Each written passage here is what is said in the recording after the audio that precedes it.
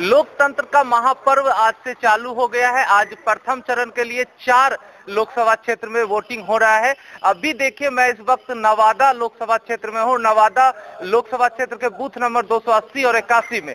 नवादा लोकसभा की बात करें तो यहाँ पर वोटिंग के लिए लगभग उन्नीस लाख मतदाता है जो अपने वोटिंग का प्रयोग करेंगे। उसके लिए लगभग बूथ पर सभी तैयारियाँ पूरी कर ली जा चुकी है। मतदान कर्मी यहाँ पर मौजूद हो गए हैं। ईवीएम सेट हो गया है और तमाम जो सुरक्षा के उपाय है, वो सारे पुख्ता किए गए हैं। और दो सौ अस्सी इक्यासी नंबर ये बूथ पे तमाम व्यवस्था पूरी कर ली गई है। मतदाताओं के सहयोग के लिए इस पुलिस प्रशासन के साथ साथ महिला मतदान कर्मी भी लगाया गया है और स्कॉट एंड गाइड के भी जवान लगे हुए हैं। लगभग नवादा लोकसभा के क्षेत्र की बात करें तो लगभग 19 लाख मतदाता अपने मत का प्रयोग करेंगे और लगभग अठारह सौ निन्यानवे मतदान केंद्र बनाए गए हैं।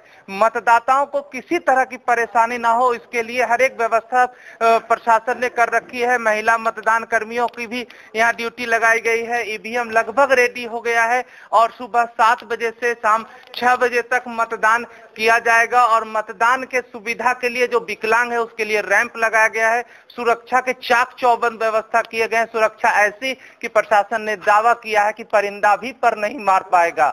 आगे हम आपको बताता रहेगा एबी न्यूज़ किस तरह लोकसभा क्षेत्र नवादा में मतदान हो रहा है और लोकतंत्र के इस महापर्व में कैसे लोग हर्षोल्लास के साथ अपनी भूमिका निभा रहे हैं। कैमरा पर्सन विक्की के साथ सुनील कुमार गुप्ता एबी न्यूज़ नवादा।